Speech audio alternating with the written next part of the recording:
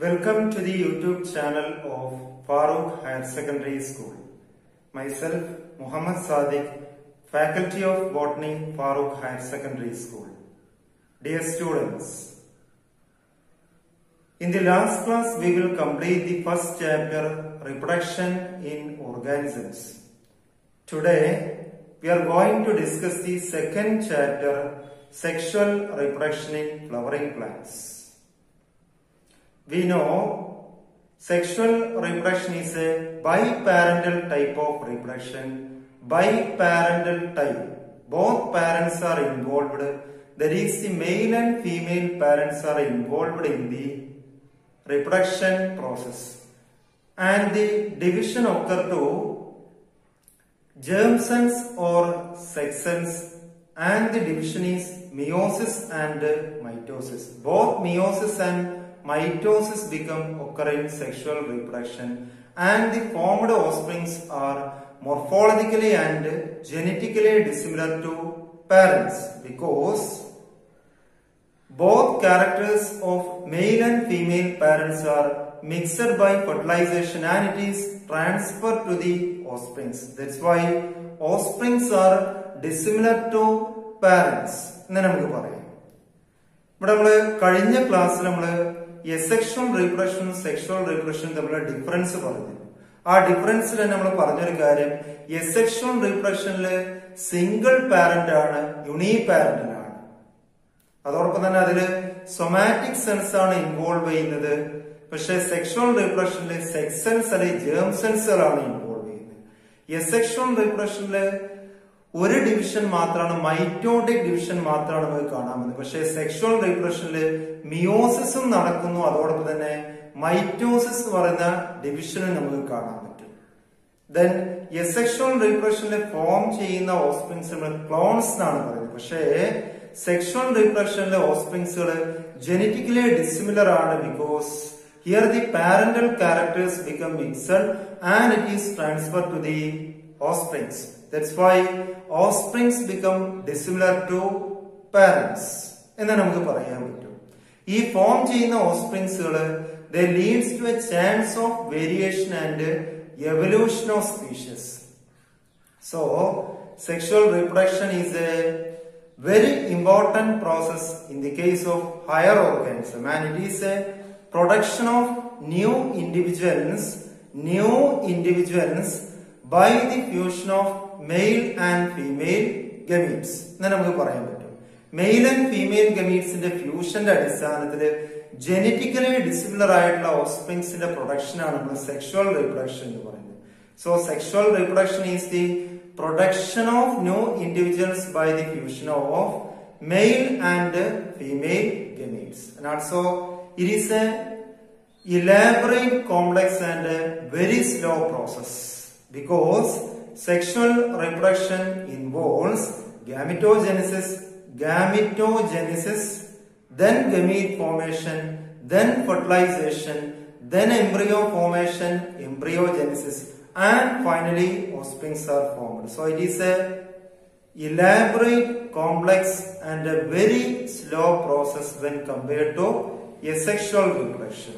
അപ്പൊ ഇത്തരത്തില് sexually reproducing ആയിട്ടുള്ള ഓർഗാനിസത്തിൽ നമ്മൾ പരിശോധിച്ചാൽ for example in angiosperms or flowering plants flower is a symbol for sexual reproduction or flower is a fascinating organ of angiosperms ഇപ്പൊ ഒരു ഫ്ലവറിന്റെ സ്ട്രക്ചർ നമ്മൾ പരിശോധിച്ചാൽ ലോവർ ക്ലാസ്സിൽ നമ്മൾ ഞങ്ങൾക്ക് അറിയാം ലോവർ ക്ലാസ്സിൽ തന്നെ ഫ്ലവറിന്റെ പാർട്സിനെ കുറിച്ച് നമ്മൾ പഠിക്കുന്നുണ്ട്. ഞങ്ങൾക്ക് സ്ക്രീനിൽ നോക്കാം.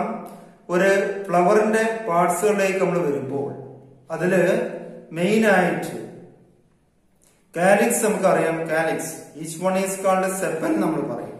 Corolla each one is called petal sepals ആണ് കാലിക്സ് പെറ്റൽസ് ആണ് കൊറോളയായിട്ട് നമ്മൾ പറയുന്നത്. മെയിൻ റീപ്രൊഡക്റ്റീവ് പാർട്ടാണ് ആൻഡ്രീഷ്യൻ കേസര കുലങ്ങൾ എന്ന് പറയും. അതിൽ നിങ്ങൾക്ക് കാണാം സ്റ്റേമൻ എന്ന് പറയുമ്പോൾ മെയിൽ റീപ്രൊഡക്റ്റീവ് പാർട്ടാണ് സ്റ്റാമൻ ആ സ്റ്റേമനിൽ ആന്തർ എന്ന് പറയുന്ന ഒരു പോർഷൻ കടമാണ് ആന്തർ ഗൈനീഷ്യമാണ് ഫീമെയിൽ റീപ്രൊഡക്റ്റീവ് പാർട്ട് അതിലുള്ള പോർഷനാണ് കാർപ്പൻ എന്ന് പറയുന്നത്. ഒരു കാർപ്പലിൽ ഓവറി ഉണ്ട് സ്റ്റൈൽ ഉണ്ട് സ്റ്റെഗ്മ ഉണ്ട്. ഓവറിക്കുള്ളിലാണ് ഒവ്യൂൾസുകൾ കാണുന്നത്. അപ്പൊ ഇതാണ് ഒരു ഫ്ലവറിന്റെ പാട്ടായിട്ട് നമുക്ക് പറയുന്നത്. വളരെ ഈസി ആയിട്ടുള്ള ഒരു ഭാഗമാണ്.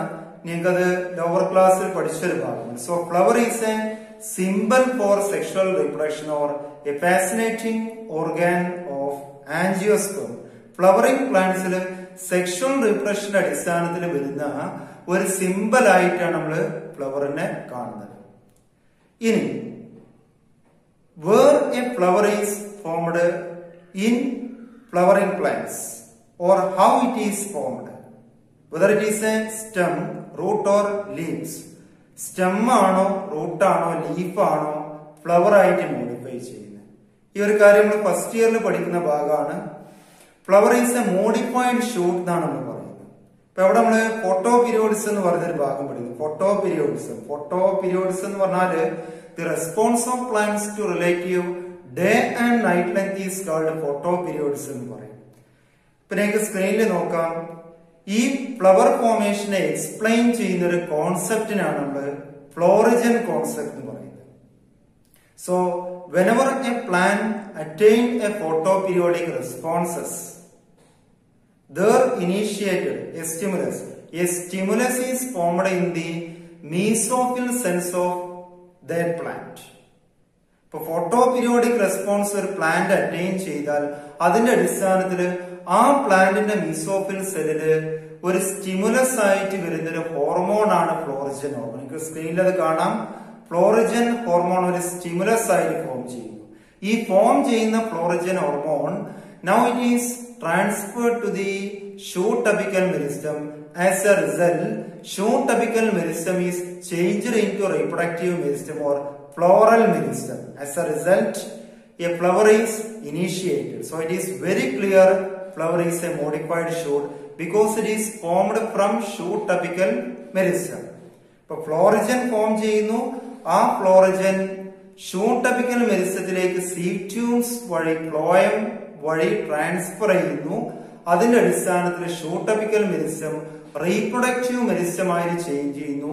ദർ ഇനിഷ്യേറ്റഡ് എ ഫ്ലവർ അപ്പൊ ഇതിനെ എക്സ്പ്ലെയിൻ ചെയ്യുന്ന ഒരു കോൺസെപ്റ്റ് ആണ് നമ്മൾ ഫ്ലോറിജൻ കോൺസെപ്റ്റ് എന്ന് പറയുന്നത്. ഫോട്ടോ പീരിയോഡിസത്തിന്റെ അടിസ്ഥാനത്തിൽ വരുന്ന പ്രോസസ് ആണ്. അതിന്റെ അടിസ്ഥാനത്തിൽ whether it may be a axillary or apical flower ഒരു ആക്സിലറി ഫ്ലവർ അല്ലെങ്കിൽ അപ്പിക്കൽ ഫ്ലവർ അവിടെ ഫോം ചെയ്യാം.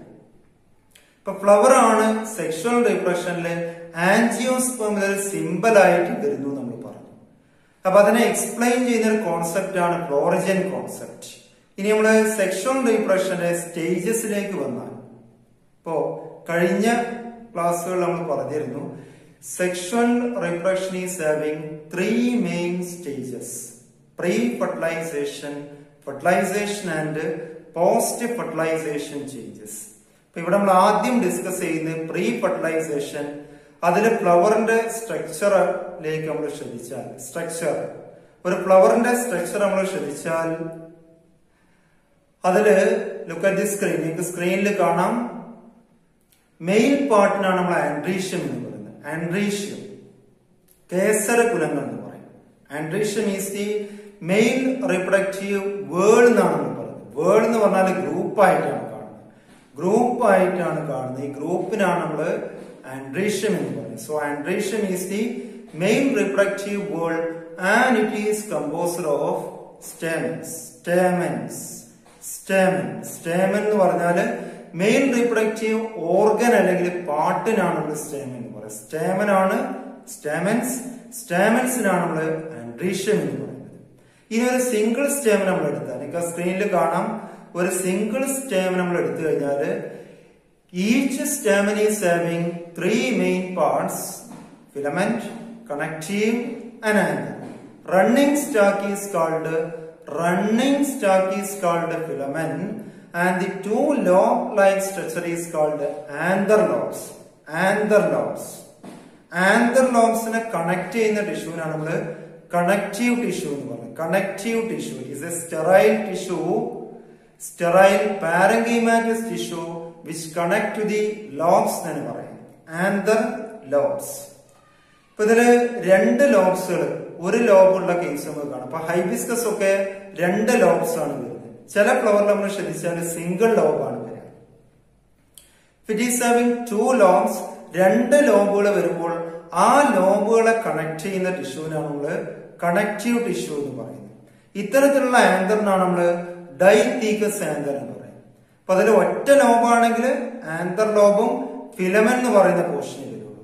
അതായത് റണ്ണിങ് സ്റ്റാക്കിനാണ് നമ്മൾ ഫിലമൻ എന്ന് പറയുന്നത്. ലോബ് ലൈൻ സ്ട്രക്ചറിനാണ് ആന്തർ ലോബ് എന്ന് പറയുന്നത്. ഈ ആന്തർ ലോങ്സുകളെ കണക്ട് ചെയ്യുന്ന ടിഷ്യൂ ആണ് കണക്റ്റീവ് ടിഷ്യൂ ക്ലിയർ വളരെ ക്ലിയർ ആണ്. ഫിലമെന്റ് ലോങ്സ് ആ ലോബ്സുകളെ കണക്ട് ചെയ്യുന്ന ടിഷ്യൂ ആണ് കണക്റ്റീവ് ടിഷ്യൂ കണക്റ്റീവ് ടിഷ്യൂ ഒരു സ്റ്റെറൈൻ പാരങ്കിമാറ്റിസ് ടിഷ്യൂ ആണ് which connects the two anther lobes എന്ന് പറയാം. ഇനി ഒരു ആന്തറിന്റെ ടി എസ് നമ്മൾ എടുത്താൽ ഒരു ക്രോസ് സെക്ഷൻ എടുത്തു കഴിഞ്ഞാൽ ഇപ്പൊ അതിൽ ലാർജ് ആന്തേഴ്സ് ഈ ആൻഡേഴ്സിന്റെ ക്രോസ് സെക്ഷൻ നമ്മൾ എടുത്തു കഴിഞ്ഞാൽ നമുക്കൊരു ബട്ടർഫ്ലൈ ഷേപ്പിൽ സ്ട്രെച്ചർ ആയിട്ട് കാണാൻ പറ്റും. ഈ ബട്ടർഫ്ലൈ ഷേപ്പിൽ സ്ട്രക്ചറിൽ നാല് കോണേഴ്സ് നമുക്ക് കാണാം. Each corner is called microsporangium എന്ന് പറയാം. മൈക്രോസ്പ്രാഞ്ചിയം സിംഗുലർ ആണ്. മൈക്രോസ് പ്രാഞ്ചിയ പ്ലൂരൽ ആണ്.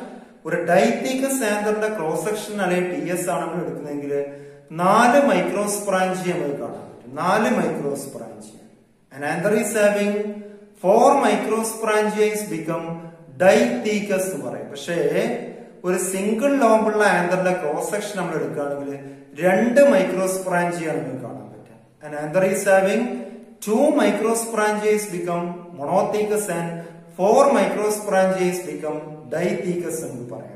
അപ്പൊ ഇത്തരത്തിൽ നമ്മൾ ആന്തറിന്റെ ടി എസ് എടുത്താൽ അതിൽ കാണുന്ന നാല് ലോബുകൾ corners each one is called microsporangium നാല് മൈക്രോസ്പൊറാഞ്ചി ഒരു ഡൈത്തീക്കസിൽ കാണാം. മൊണോത്തിക്കസ് ആണെങ്കിൽ രണ്ട് മൈക്രോസ്പൊറാഞ്ചിയാണ് വരിക. ഈ മൈക്രോസ്പൊറാഞ്ചിയത്തിനുള്ളിൽ കാണുന്ന സാക്ലൈൻ സെസലിനാണ് നമ്മൾ പോളൻ സാക്ക് എന്ന് പറയുന്നത്. ഈ പോളൻ സാക്കിനുള്ളിലാണ് പോളൻഗ്രെയിൻസ് അല്ലെങ്കിൽ മെയിൽ ഗാമിറ്റോഫൈറ്റുകൾ നമുക്ക് കാണാൻ പറ്റും. അപ്പൊ മെയിൽ ഗാമിറ്റോഫൈറ്റായ പോളൻ ഗ്രെയിനെ കവർ ചെയ്യുന്ന പോർഷനാണ് സാക്ലൈൻ സെസലിനാണ് പോളൻ സാക്ക് എന്ന് പറയുന്നത്. അപ്പൊ ഇത്രയും പോർഷനാണ് നമ്മൾ ഒരു ആന്തറിന്റെ സ്ട്രക്ചർ ആയിട്ടാണ് പറയുന്നത്. ബാക്കി ഭാഗം നമുക്ക് അടുത്ത ക്ലാസ്സിൽ നോക്കാം. ശരി.